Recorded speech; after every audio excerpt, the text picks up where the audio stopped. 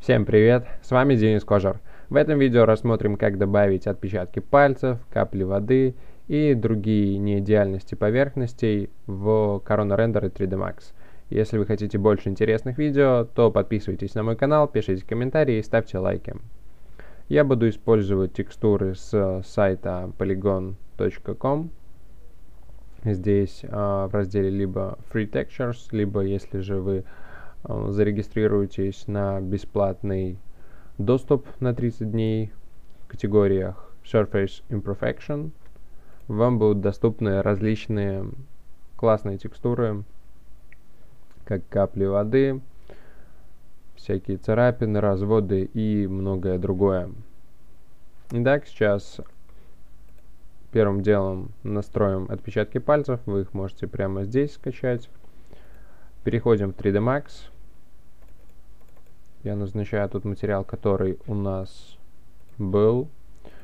Запущу интерактив. И далее самый простой способ добавить их это создать Corona Layer MTL, переместить этот материал сразу в Layer 0, а к этому подключить вот так. Далее назначаем уже этот Layer MTL. Сейчас я отключу Displacement, чтобы он чуть-чуть быстрее просчитывал. И теперь надо добавить текстуры. Будем использовать вот эту текстуру Fingerprints 04.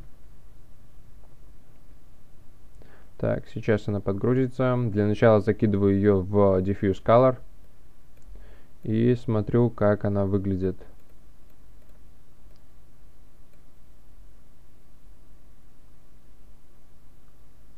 Вот такая вот ситуация. Я вижу, что хочу сделать ее чуть поменьше, слишком крупная. Для этого я уменьшу тайлинг. Когда его увеличиваешь, в смысле ставишь цифры больше, то картинка как бы уменьшается, чаще повторяется. Итак, это уже больше похоже на то, что я хочу видеть. Дальше надо просто добавить эту же карту в маску данного материала. В данном случае это маска 0. И как вы видите, у нас здесь остаются отпечатки, но сейчас это не так хорошо видно. И в целях наглядности для данного видеоурока я повысил значение output amount мы можем сейчас его повысить вообще до 5, чтобы он прям ярко-ярко выделялся. Конечно же, в реальной практике такого делать не стоит. Надо искать более щадящие, более мягкие значения, как у меня там было около 2 или может быть 1,8. Но для наглядности, чтобы на видео было видно, я показываю вот такие вот экстремальные значения. Хорошо, сейчас остановимся на трех. Также далее вы можете здесь донастроить отражение у данного материала. То есть, если это отпечатки пальцев, то глоссинус у них будет поменьше. Наверное, вот так как-то. Вообще, дальше уже настраивайте под свой вкус и цвет. Если хотите, цвет тоже, кстати, можете поменять, так как это работает как маска. И здесь можно хоть синие хоть красные отпечатки пальцев делать. Все на ваше усмотрение. Я оставлю пока текстуру. Так, можно двигаться дальше. С отпечатками пальцев разобрались. Вот с каплями воды уже чуть-чуть поинтереснее все будет. Добавляем еще один материал короны. Также отправляем его в Layered MTL, только я перепутал, надо отпечатки пальцев оставить, а этот следом. Вот сюда. Точно таким же образом мы сейчас можем посмотреть, как выглядит текстура. Для этого я буду использовать вот эти Raindrops 01 И сейчас первым делом посмотрим, как выглядит вот эта карта. Она отвечает за Reflection. Я ее закину в Diffuse, просто чтобы посмотреть размеры. Видим, что она, во-первых, перевернута. Для этого здесь я ее переворачиваю. Параметр Angle 90. Ну и, наверное, так ее оставлю по размерам. Хотя, если есть желание, можно сделать либо больше, либо меньше. Можем здесь сделать чуть побольше. Например, вот так. Хотя оставлю те параметры, которые были. И теперь вот эти настройки надо применять ко всем текстурам, которые мы будем использовать. То есть для этой, для этой и для этой текстуры должны быть такие же значения. Angle 90 тут, тут и тут. Далее идет уже знакомая ситуация, как в предыдущем видео, где мы настраивали сам материал плитки к карте нормалей подгружается корона normal, add gamma to input, normal map и flip green channel. Это добавляется в bump. Это идет displacement.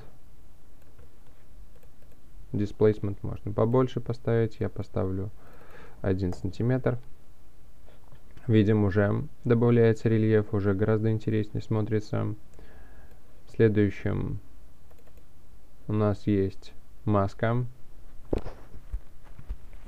И ее, так как вот она как выглядит, это PNG файл, вот эту вот ерунду, чтобы убрать, надо поставить mono channel output alpha RGB intensity.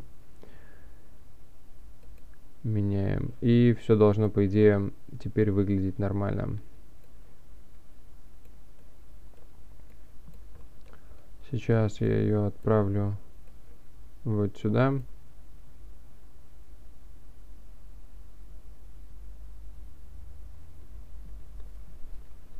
Да, мы видим, что теперь у нас нормально э, просвечивается то, что должно быть снизу. Далее осталось донастроить материал воды. Здесь на вкладке Output инвертируем карту Reflection. Помним, что для этих карт, использованных с полигона, параметр Reflection мы инвертируем. Вот так вот. Дальше надо сделать, чтобы это было похоже на материал воды материала воды diffuse 0, reflection единица, glossiness можно сделать чуть-чуть меньше, там 98 поставлю, refraction тоже на единицу. И Fresnel IOR 1.33 и здесь 1.33